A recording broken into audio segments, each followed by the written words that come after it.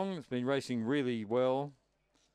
And Precious Tyson, sort of uh, not quite a 531 dog, but not far off. Now the green light is on. Lure's running. They're ready.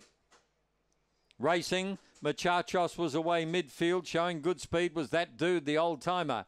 A Muchachos in awful trouble around the first turn, and it's that dude shows the way from Hailstorm. On the outside, Precious Tyson is third. Then Muchachos starting a run. Further back was Daisy Marie. Well back on the race, play that song. And last of all, Data Queen off the back. That dude still in front.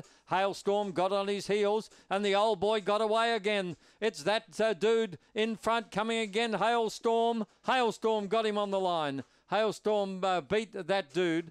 Probably Muchachos third with Daisy Marie late on the scene, making it interesting for that placing.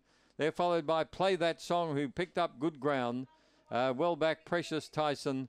Data Queen was never a winning chance. 31 52. 1 4 3 and 2.